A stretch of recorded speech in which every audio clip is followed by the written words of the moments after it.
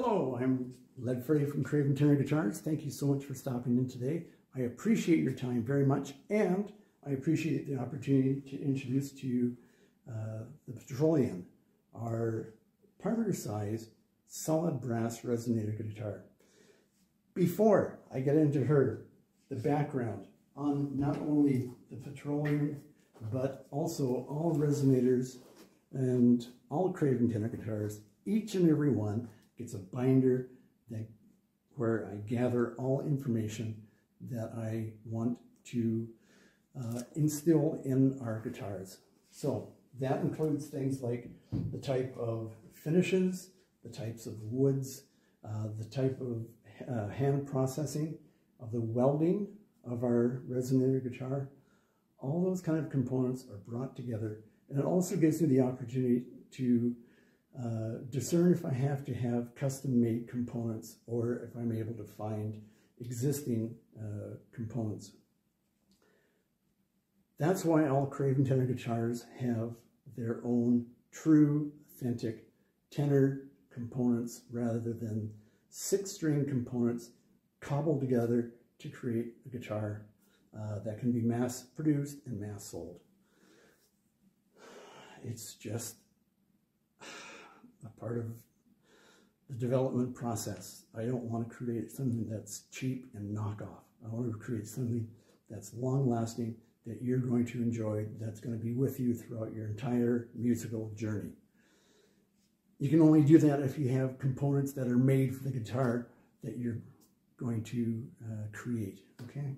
So, enough of that. Let's have a good close look at uh, uh, the Patrician.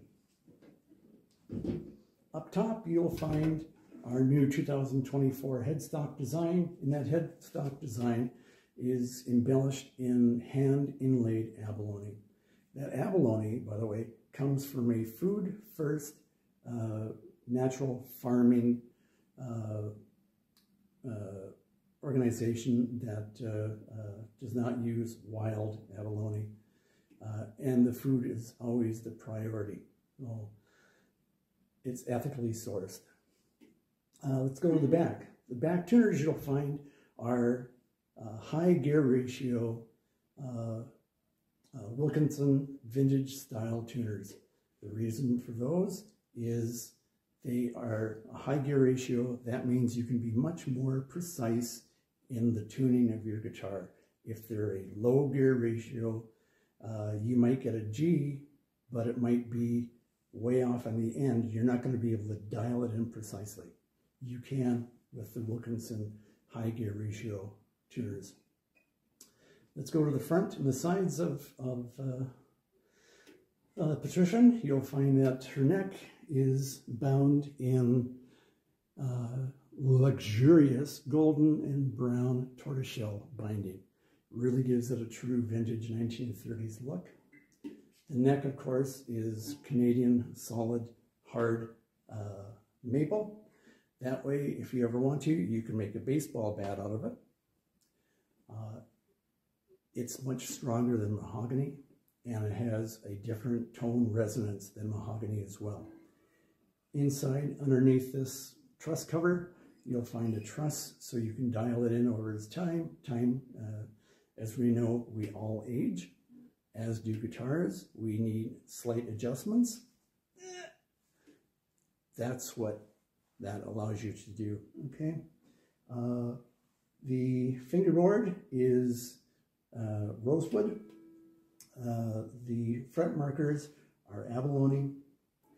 And now let's get into the body. The body is a true solid brass that has been multi-dipped in it's actually silver. We call it chrome. So it is, as you can see, very, very bright and very shiny.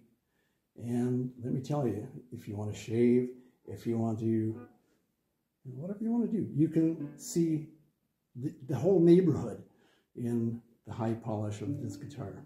Okay, uh, The sound holes, rather than being F-holes, are the old uh, paddle wheel uh, lattice style very popular in the 1920s, 30s. Uh, it produces a nice bright uh, tone to your guitar. Uh, you can see we uh, bevel the edges of our neck. Uh, the neck joins at the 12th fret. It is a 25 inch uh, scale. Now inside, inside behind our, our own hand polished, triple dipped uh, beehive style uh, hubcap is our own polished, uh, hand, hand spun aluminum uh, resonator cone, biscuit style, true Delta Blues style uh, cone itself. The biscuit style creates that specific tone where a, uh, a spider cone creates more volume over tone.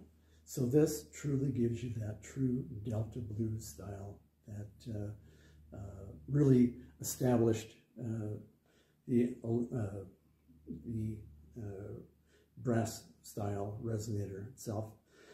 We all know that, that the Delta Blues was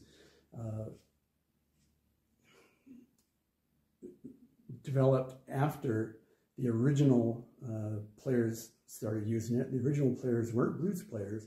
They played Hawaiian music, and that was the 1920s and early 30s. That's when it was captured and caught the attention of blues players. They picked it up, and they really established the resonator guitar for what it is today. Okay, so we know uh, that we have Craven Direct components on the top, on the insides, on the bridge. Uh, here as well, you'll find that we have the 1930s style uh, tuners. They come from a Zephyr radio.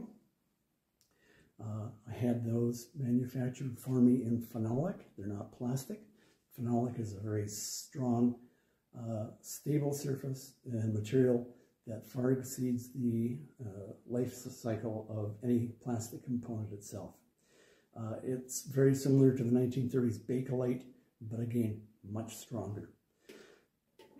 So that's her in a nutshell. As, you, as I say, if you want to be able to play it acoustically, that's ideal. If you want to be able to plug it in, we have uh, our own hand-spun uh, uh Telecaster style uh, pickup on there as well. You can plug it in. You can uh, really create a nice loud volume with it. I just want to show comparison the size of the parlor size over a Triolian. Uh, the Belle Creole is a Triolian size guitar, which is much closer to an O body. Uh, it's still actually smaller than an O body, but you can see the size is actually, side by side, you can see that uh, uh, the Patrician is a smaller size guitar. But when it comes to sizing like this, you don't have to worry that small means quiet or small doesn't mean it's got a nice sound. I can assure you that uh, when the guitar is cre uh, created properly, a small size guitar has got beautiful, bright and brilliant and clear tones. And that's what you'll find in the Patrician full brass body Craven tenor guitar. That's it in a nutshell. Thanks for stopping by. I appreciate your time. Take care. Enjoy your friends and family while you have them. Thanks a lot.